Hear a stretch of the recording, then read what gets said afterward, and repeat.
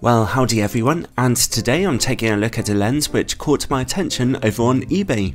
The Meike 35mm f1.7, a little modern manual focus lens which is designed for mirrorless APS-C cameras.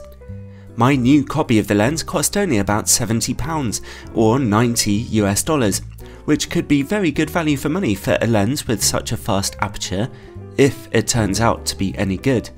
On an APS-C camera, 35mm is a useful standard focal length, wide angle enough for general purpose shooting, while giving you a good emphasis on your subject if you get a bit closer.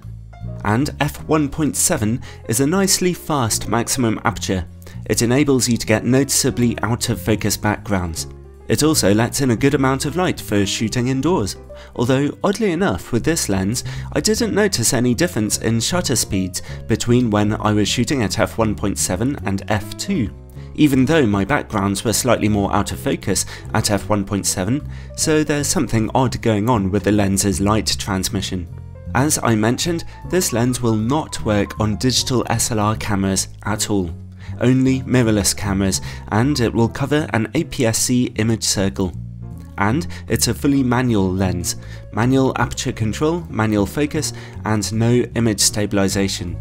As you can see, it's a pretty small lens, but it's made of metal, so it does feel nice and solid while still being lightweight, at under 200 grams. The aperture ring turns smoothly without any clicks at all, and doesn't give you many markings to show you where you are. The manual focus ring also turns very smoothly and quite precisely, and gives you markings for focus distance.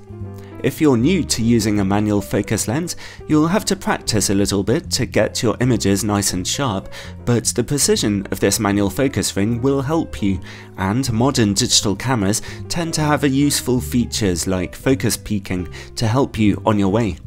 The front of the lens does not rotate as you change focus, which is helpful for people who use polarizing or graduating filters. And the filter size is a small 49mm. The front lens cap is also made of metal and slips onto the front fairly securely. On the whole, this handy little lens seems to have been inspired by the designs of the 1960s. And for a manual focus lens, that's not necessarily a bad thing. Apart from the slightly questionable aperture ring, it handles really well.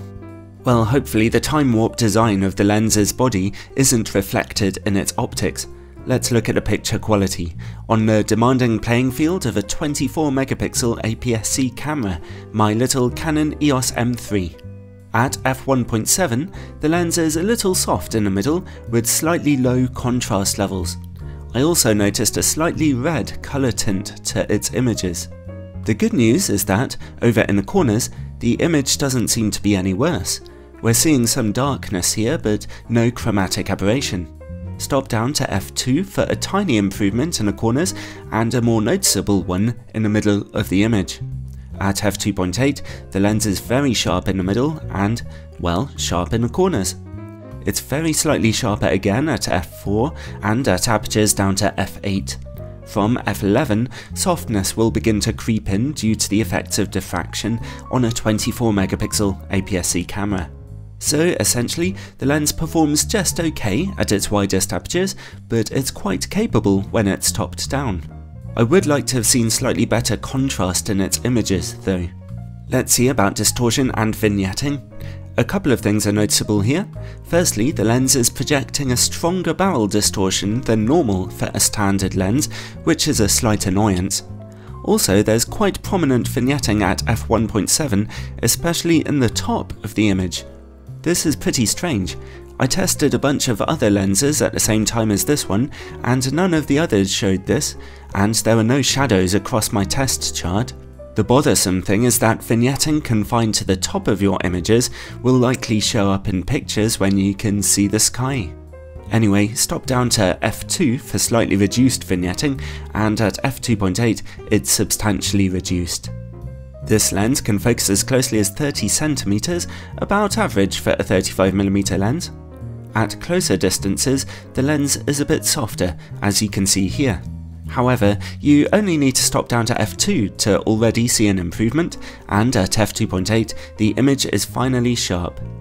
Let's see how the lens performs against bright lights. There's quite a drop in contrast and rather a lot of flaring, although the pattern does at least look nice and soft. Not a great performance here. Finally, bokeh.